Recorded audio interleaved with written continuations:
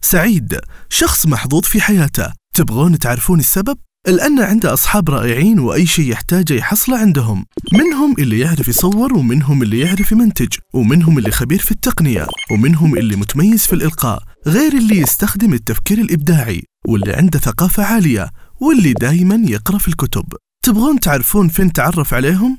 بكل بساطة سعيد فكر في مكان يستفيد منه ويطور فيه مهاراته بالإضافة إلى الترفيه والتعليم والحفاظ على الوقت وكمان التعرف على أصدقاء رائعين. وبعد ما بحث قرر إنه يدخل جامع الصالحين بمخطط عبيد في حي قويزة الآن عندهم تحفيظ القرآن دورات تطويرية أنشطة رياضية مهارات حياتية برامج تطوعية زيارات برية وبحرية زيارة لمكة والمدينة. ومن يوم دخل سعيد معهم الحلقة صار في حياته سعيد. جامع الصالحين بمركز إشراف شرق جدة التابع لجمعية خيركم لتحفيظ القرآن بجدة.